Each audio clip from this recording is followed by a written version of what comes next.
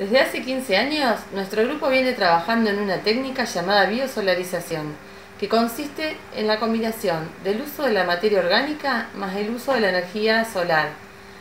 Esta técnica se usa como una alternativa a la desinfección del suelo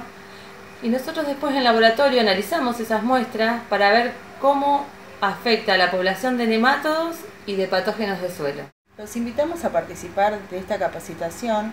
trayendo muestras de suelo de su quinta para poder evaluar esta técnica mediante análisis de laboratorio. Lo esperamos el día 28 de agosto, en donde se podrá realizar el primer encuentro, en donde van a aprender los fundamentos de esta técnica de biosolarización y además van a poder escuchar eh, a los productores y profesionales que ya adoptaron esta técnica eh, en situaciones reales.